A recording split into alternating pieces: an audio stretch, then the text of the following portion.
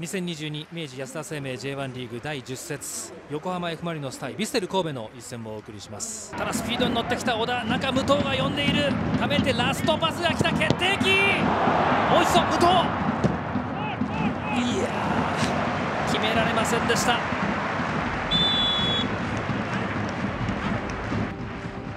まあ、武藤にしてみると確実にやっぱり枠に蹴り込みたい。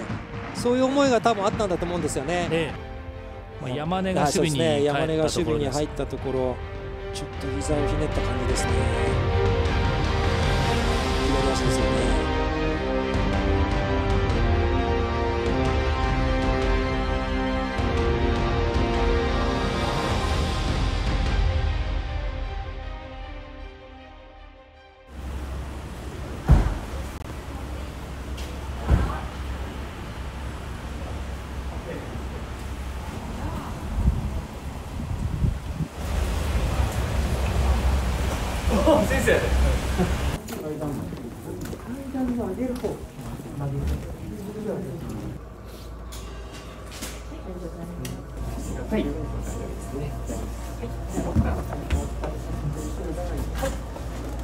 そ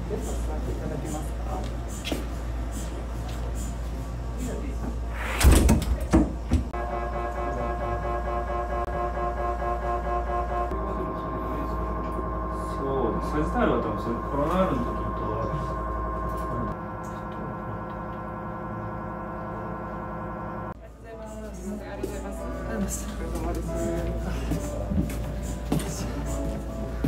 あなるほどはい。可動域が出てくるところで、はい、今日焦げて、九十度ぐらい曲げて。室外拳は前多分この。PRP そう打った時結構痛かったんだけど今はこれ。それを押し押して圧がなくなったんでね、あ、なくなった。うん、そう。ほぼほぼ。おゼロじゃないんだけど。前多分この外、このうちのこのこの辺。そうそうそうそうあ大丈夫。う。ん。痛くない。まあほんの少しそこまで強く押してやっと、他の例えばこういう部位とか比べると。まあそこだけどそう。だいぶ減ってるうんそう衝撃波の感じ方も全然変わっていましたね、昨日。うん。そのい痛みが。減ってるっていう。そうそうそう、まあその両方でようなってるんですか PRP と衝撃波と、うん。まあいいかまああの順調な経過じゃないですかね、ありがとうございます、はい、膝にはあ大きな靭帯が主に4つあって、まあ、内側のお靭帯と外側の側腹靭帯、えーそれとまあ前十字関節の中には前十字靭帯と後十字靭帯っていうのがあるんですけど、まあ、今回武藤選手が選べたのはその膝の内側に走っている、えー内側側腹靭帯っていうこの模型でいうとここになるんですけれどもを痛めてます。でえーその膝の内側側腹靭帯損傷っていうのは、まあ、膝の靭帯損傷の中ではあ一番頻度が多いって言われてて、えーまあサッカーとかあバスケットボールだったりとか、まあ、こう膝ああターンとかそういうのを繰り返す繰り返す競球技だったり、えーまあ、スキーとかあそういうスポーツで、えーよく膝をひねって痛めたり、えーする、えー損傷です。部分的なちょっとこう不安定性ってて、まあ、ぐらつきがあ出てる状況でした。でなので、えーまあ、全治として、えーおおよそまあ8週から10週っていうのを目安に復帰していくという目安で考えてます。でまあ、経過としてはすごく順調で、まあ、最初に、えー怪我した直後にあったような、まあ、痛みとかあ腫れとか、まあ、そういうのが少しずつ落ち着いてきて、えー少しずつまあ負荷をリハビリテーションの負荷をちょっとずつ上げていける段階になっているかなと思います。トレーナーさんとやっぱりしっかり協力して、えーまあ、選手と3人で、えーまあ、チームとしてやっぱ直していくっていうのはすごい大事なので、まあ、あのそこの細かいメニューっていうのはもちろんリハあのトレーナーさんとお相談しながら、えーやっていくという感じになります。ありがとうございます。あれはい。ありがとうございます。ういっす。ありがとうございます。ありがとうございます。伊藤さん、また。お疲れ様です。お疲れ様です。あれ？あそうだでもこれこれ借り出しじゃないからあの大丈夫です大丈夫ですなんか自分あとこれそれとでありがとうございます。はい。そうですね、まあ、タックル受けた瞬間に正直あもう終わったと思いましたしとんでもない方向にやっぱ膝が曲がってしまったのであやってしまったなっていうであまりでた一回立って確認したんですよね、まあ、内側に入れてみたらもうそのまんま人体とかビヨンっていうその伸びた感覚があったんであこれもう、まあ、痛めてるし、まあ、もしかしたら切れてるのかなっていう更衣室行ってドクターたちが来て、まあ、最初それこそ前十字のテスト。周りに前十字で苦しんでた選手だったりそれをやった選手がやっぱた多かったので8ヶ月9ヶ月、まあ、今シーズン終わりだなとかそういうのを考えながら、まあ、正直もうそっちの準備もしていたというか、まあ、かなり、絶望的だったんですけど、まあ、その本当前十字が、まあ、大丈夫だって聞いた時は、まあ、かなり、まあ、ほっとほっとはしました。まあその内側側副靭帯損傷っていうのなんですけど、まあ、これ僕がドイツにいた時右足の方を痛めてた経験もあったので診断が出るまでは、まあ、生きてる心地はしなかったなっていう。具体的にどのような治療であったり、リハビリを行っているんですか？そうですね。膝の曲げ伸ばしがまだ90度ぐらいまでしかい,、えーいけないので有酸素運動、まあ、走ったりそのバイクを漕いだりっていうのがやっぱできないのが一番うーんまあ厳しい。自分的にやっぱ汗もかけないですし。そんな中でも2週間経ってかなりやれることが増えて上半身の筋トレ下半身の筋トレその落としちゃいけないその部箇所だいぶやれることも増えて気持ちがうんまあ楽になったかなっていう、うん、印象あります。 Day one 復活の儀式。成長への一歩目。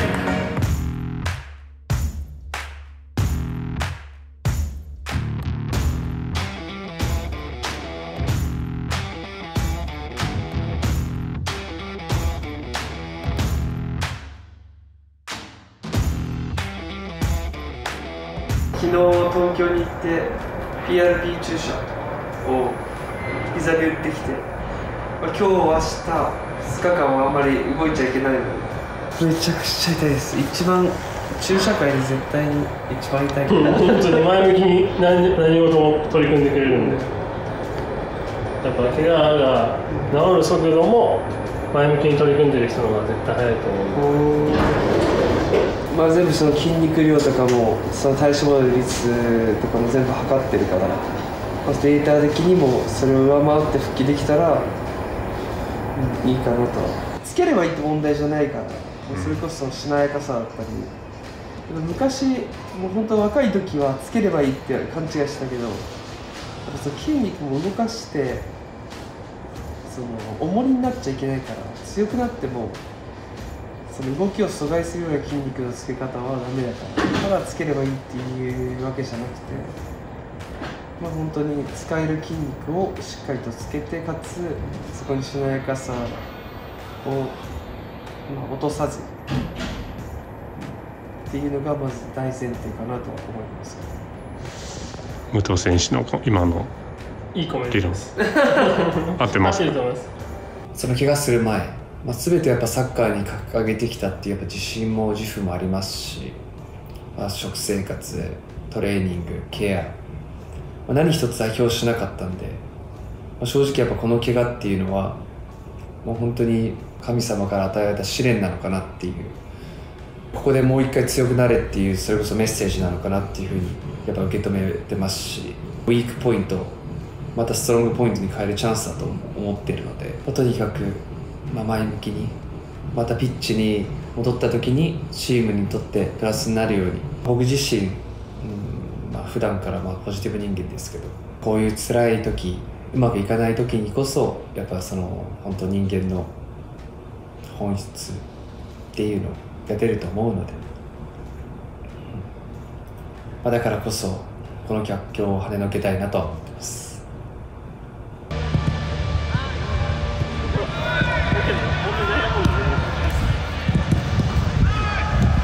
Good morning. Good morning, man! 調子はどうですか？いいです。足の痛みは？いやだいぶその2回目の注射その PRP の注射打って34日少し痛みありましたけどそれが引いてだいぶ良、うん、くなりました。もうランニングもスタートできたという話ですけど、うん、昨日ランニング開始して何も問題なかったのでなんかそのやっと有酸素系も取り入れられて気持ちがすごく晴れ晴れとしています。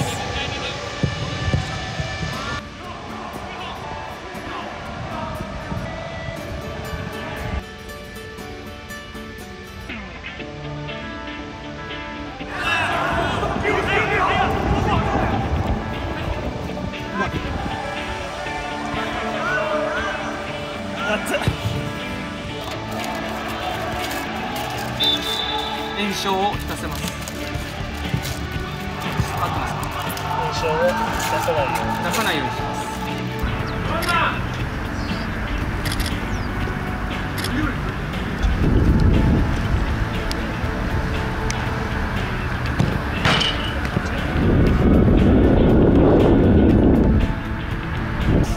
ここからこう変える時です怖い。バレーボールはね怪しいな。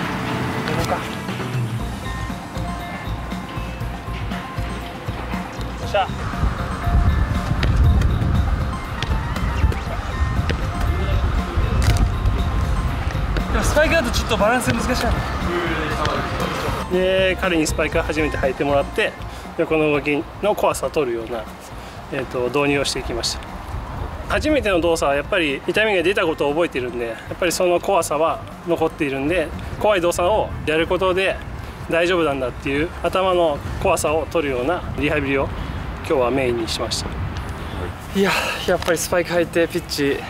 でやるのは本当に気持ちいいというか、まあ、天候にも恵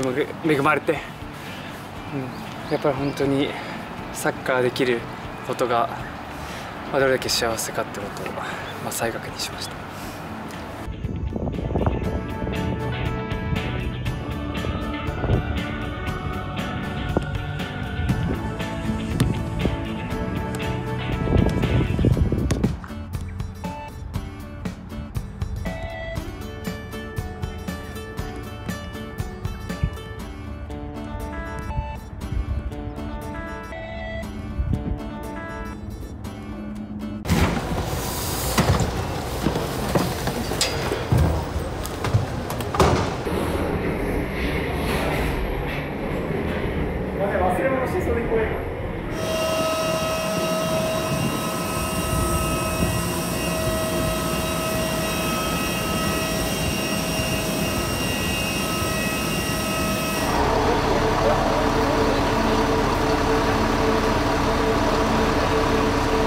暖かいところでやっぱしっかり汗もかけるし、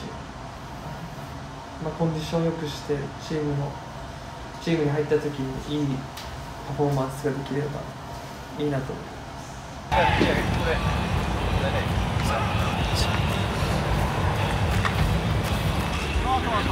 す。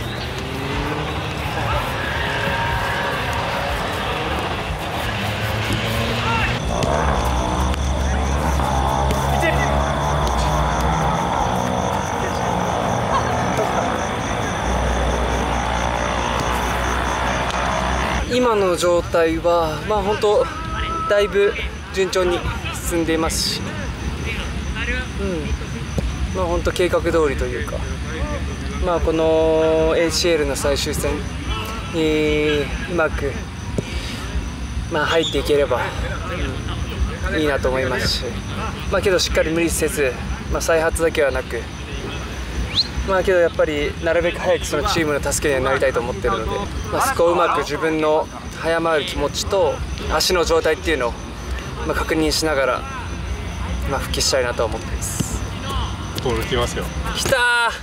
ーレオ。いや。誰だな豪徳。正解 めっちゃ踊ってます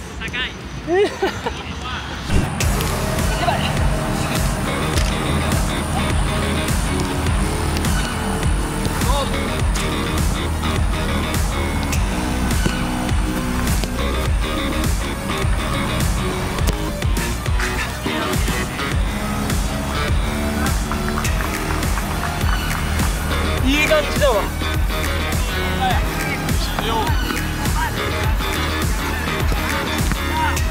これここ今のところ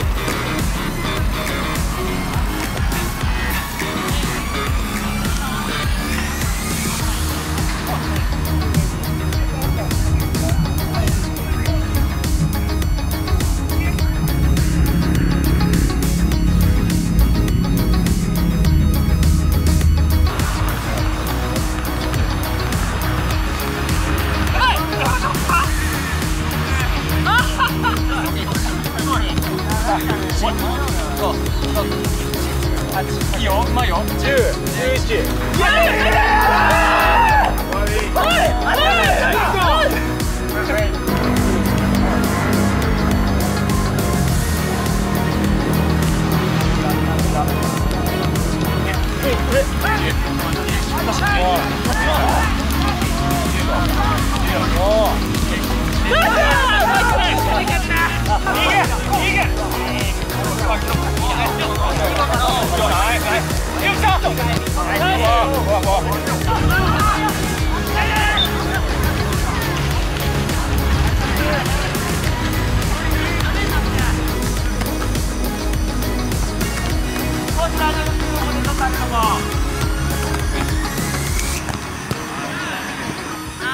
Yeah.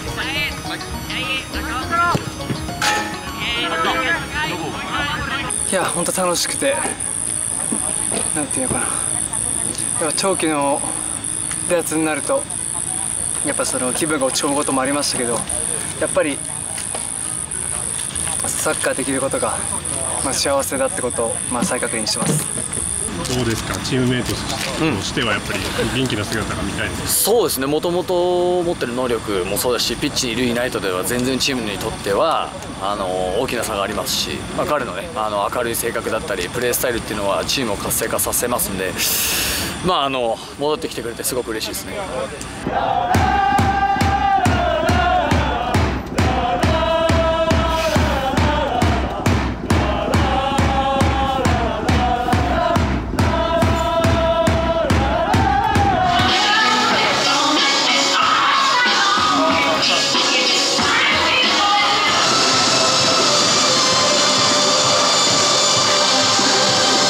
Then they in turn can look to bring it away. Sliding challenge coming in to concede the throw. Leo Osaka, and it's time for Osako and Muto. First time hammered clear, just one to chase. It is Yoshinera Mutu, there he is, who's just come on with a left foot ball that is dinked in, heading forward, Caesar Staves, still alive, looking for support, onto the right foot, trying to drag it back, the 6-4, is this the one they could make something from? Yes they can! It is a set piece, and it is worked brilliantly. They have edged in front in the closing minutes, and it has come from a corner able to get the header. That is for the Hong Kong Premier League champions in the final minutes. Just so much space to make the header count, and it is Yoshinori Muto who is the man for the moment. And what a big, big contribution that is for Kobe, who are heading to the round of 16. 僕自身、まあ、最後の試合だけのプレーとなってしまいましたけど、まあ、怪我からこうやってゴールを決めて、えーまあ、ピッチに戻れたということは非常に喜ばしいことですけど、まあ、僕たちがこれからのその J リーグそして ACL の決勝トーナメントに進んでいくにあたってやっぱ今日みたいなうん結果で終わるわけにはいかないですし、まあ、もう少し、えー、引き締めて、まあ、再びプレーし続けなくてはいけないなというふうに思ってます。いや本当やっとピッチに戻ってこれたという本当嬉しい気持ちになりました。で、まあ、成果と成果、まあ、ゴールできたのは本当にまあ嬉しかったですけどやっぱりやっぱチームが勝てなかった勝ちきれなかったっていうのは本当に残念ですしまあでもここからまだまだまた日本帰って J リーグが始まるので、まあ、そこに集中して自分のコンディションも上げて、まあ、また、まあ、ゴールアシスト、まあ、目に見える結果で、まあ、チームのチームを勝利に導ければいいなと思ってます。試合中にその痛みを感じることもなかったので、まあ、本当にこれは、まあ、ドクターそのトレーナーの方々がやっぱ自分の時間を割いてやその僕の膝を治すために、まあ、力を尽くしてくれた、まあ、おかげだと思ってますし、まあ、本当に、うんまあ、感謝しかないなというふうに思ってます。タイまで、えー、足を運んでくださって応援してくださったファンサポーターの方々スタジアムに入入る時にその「おかえり」っていうあの文字を見て本当に胸が熱くなりましたしそのやっぱ光景っていうのがやっぱ自分を熱くさせて今日のゴールにつながったと思うので本当に感謝しても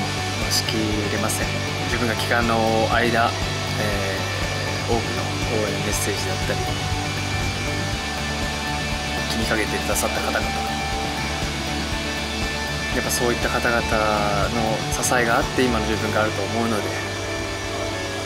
まあ、本当にありがとうございました、えー、これからはもっと自分が次は、えー、皆さんをハッピーにできるようなプレーだったりゴールあなたは勝利を届けられるように頑張ります。